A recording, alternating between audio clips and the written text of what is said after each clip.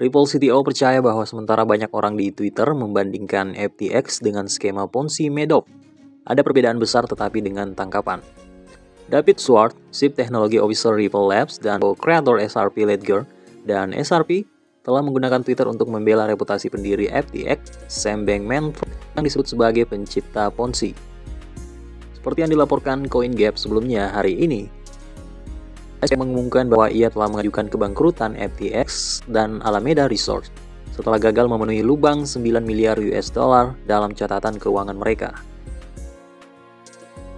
Debat Twitter tentang tautan Ponzi FTX Setelah ini, Twitter dihebohkan dengan SBF yang mengatur skema Ponzi skala besar melalui FTX.com dan karenanya membandingkannya dengan orang-orang seperti Bernie Madoff. Namun CTO Ripple percaya bahwa ada perbedaan besar yang nyata antara keduanya. Tetapi sekali lagi dia mengakui bahwa FTX akhirnya menjadi ponzi di kemudian hari. Pendapat David tentang SBF versus Madoff. Menurut Swartz, Sam Bankman-Fried tampaknya telah memulai FTX sebagai bisnis cryptocurrency yang sah sebelum secara bertahap berubah menjadi skema piramida. Beberapa dengan Bernie Madoff yang sengaja memulai dengan skema Ponzi dengan harapan nantinya akan menggantikannya dengan bisnis yang sah. Tetapi malah menciptakan Ponzi terbesar dalam sejarah senilai hampir 65 miliar US dollar. Dia percaya bahwa ketika Alameda Resorts mulai merugi, FTX secara bertahap mulai menjadi skema Ponzi. Kemungkinan lain pendiri FTX ingin perusahaannya meningkatkan profitabilitasnya. Lebih lanjut, dia mengatakan skemanya gagal ketika Alameda mulai kehilangan uang atau dia hanya ingin Alameda menghasilkan lebih banyak uang. Dia menempatkan resiko besar, sama sekali tidak pantas pada FTX. Pada awalnya mungkin untuk membuatnya lebih menguntungkan, akhirnya dalam upaya untuk tetap bertahan. Seperti yang kita lihat tweet dari David di sini teman-teman ya. Perbedaan utama lainnya antara kedua Ponsis adalah bahwa sementara Sam Bankman-Fried meminjamkan uang kepada pelanggan yang tidak boleh dia lakukan, Madoff membuat konsumen kehilangan uang sejak awal. Kekayaan bersih SBF hari ini pada puncaknya, SBF memiliki kekayaan bersih lebih dari 16 miliar US dollar.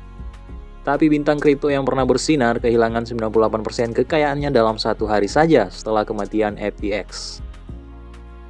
Dan jika kita lihat di CoinMarketCap di sini teman-teman ya, ini menjadi trending topik ya pembicaraan di CoinMarketCap tentang FTT token, token dari FTS.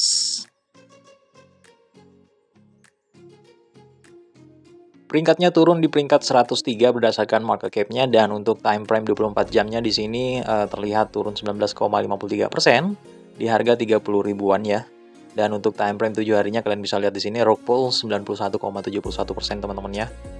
Kapitalisasi pasarnya tersisa 4 triliun saja, volume transaksi 24 jamnya tersisa 5,32 triliun. Harga tertingginya seperti yang kita ketahui di sini mencapai 1 juta 320 ribuan ya. Lumayan jauh teman-teman ya. Tapi kalau dibandingkan dengan Terra Luna Classic itu uh, lebih parah Terra Luna Classic teman-teman ya. Terra Luna Classic kemarin itu Rupol uh, 100% malahan dari harga jutaan menjadi hanya tersisa uh, berapa rupiah saja. Apakah menurut kalian ini waktu yang tepat untuk uh, entry uh, beli yang banyak di FTT token ini, teman-teman? Ataukah kita akan menunggu lagi bagaimana perkembangannya ke depan? Mungkin bisa turun di harga di bawah seribu rupiah. Dan yang pasti saya yakin FTT token ini uh, bakalan ada yang menyelamatkannya di kemudian hari teman-teman ya, seperti Terra Luna Classic. Dan kalau kita entry di harga murah kemudian menunggu menantikan uh, apa ekosistem FTT token diperbaiki oleh komunitas mungkin atau uh,